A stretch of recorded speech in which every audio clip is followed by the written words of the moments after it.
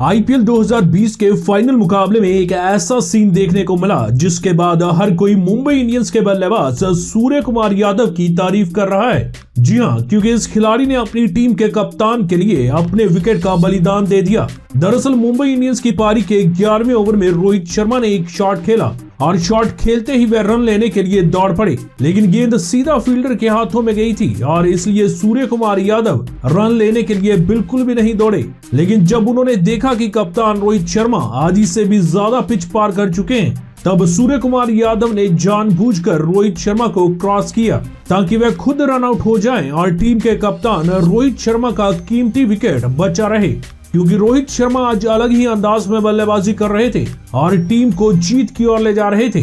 कप्तान के लिए अपना विकेट गंवाने पर सूर्य कुमार यादव की हर जगह तारीफ़ हो रही है, क्योंकि खुद सूर्य कुमार यादव ने भी इस साल पूरे टूर्नामेंट में शानदार बल्लेबाजी की है, और आज भी आते ही उन्होंने पहली दो गेंदों पर चौका और छक्का जड़कर ही अपनी पारी की शुरुआत की थी।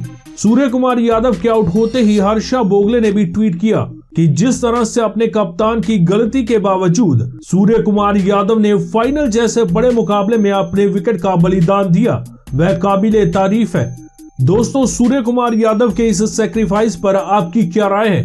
आप नीचे कमेंट बॉक्स में कमेंट कर ज़रूर बताएँ। और क्रिकेट से जुड़े हर अपडेट्स देखने के लिए इस खबर को लाइक करके हमारे चैनल को आप भी सब्सक्राइब कीजिए।